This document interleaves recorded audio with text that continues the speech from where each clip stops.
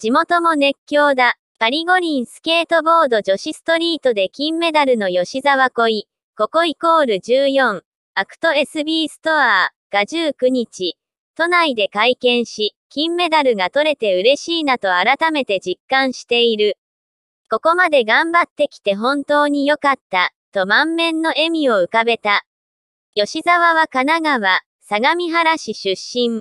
パリ五輪の結果を受け、同市では市民に功績を周知するために、夢ココプロジェクトを発足させた。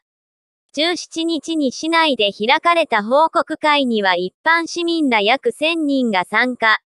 同プロジェクトの担当者は、男女問わず、幅広い年齢層でお子様連れやご年配の方にも来ていただいた、と盛り上がりを説明した。地元でのスケボー熱も高まりそうだ。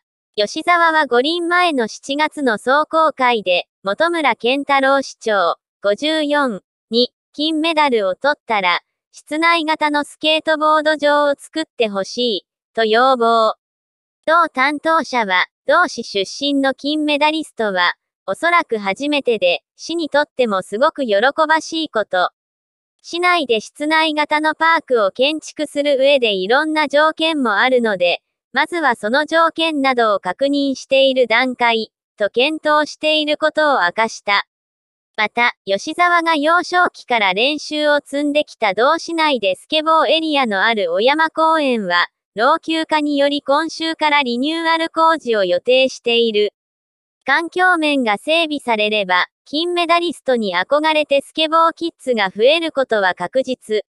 吉沢の活躍は地元に様々な波及効果をもたらしそうだ。